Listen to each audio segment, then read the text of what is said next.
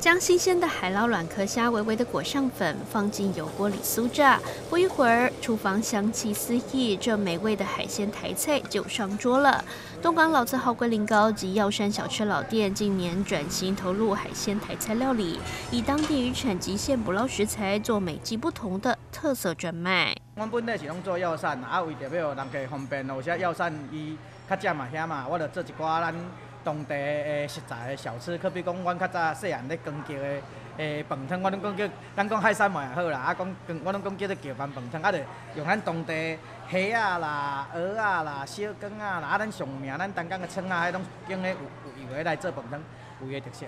啊，无就是咱当地有迄种较起啊，做做咸酥，找一寡当地食材食材安尼啊。除了盐酥的美味软壳虾，店家的叫班海鲜饭汤是业者凭着小时候的记忆制作，以在地新鲜海鲜，包含大尾鲜虾、蛤蜊、黑尾鱼等食材入菜，用最天然的原味汤头搭配川烫海鲜，吃尽鲜美海味。他们家料理食材新鲜，价格又有很便宜。你今天点的是什么？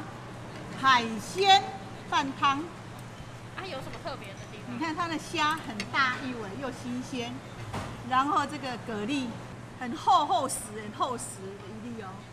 还有这个鱼，这个是超新鲜的东港的三宝之一黑尾鱼。这叫做甜的，海也叫做甜的。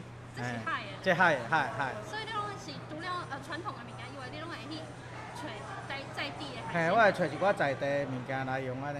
一般啊饭汤拢会用有有欠欠过芳的，吼啊，毋过阮用无欠芳，就是逐项拢啊足青的，就是讲伊完全无过欠，无过欠过诶诶海产，就是拢川烫的。然而，由于自家餐厅空间相当大，因此业者也将餐厅内部空间改良，作为婚宴场地出租，让不想去餐厅又不想因为流水席而曝晒或雨淋困扰的乡亲有场地可以使用，还能挑选自己喜欢的外汇师傅。希望透过转型，让在地渔产更被看见，场地也能多元运用，也有机会把传统的热卖商品持续做推广。记者不听张志豪采访报道。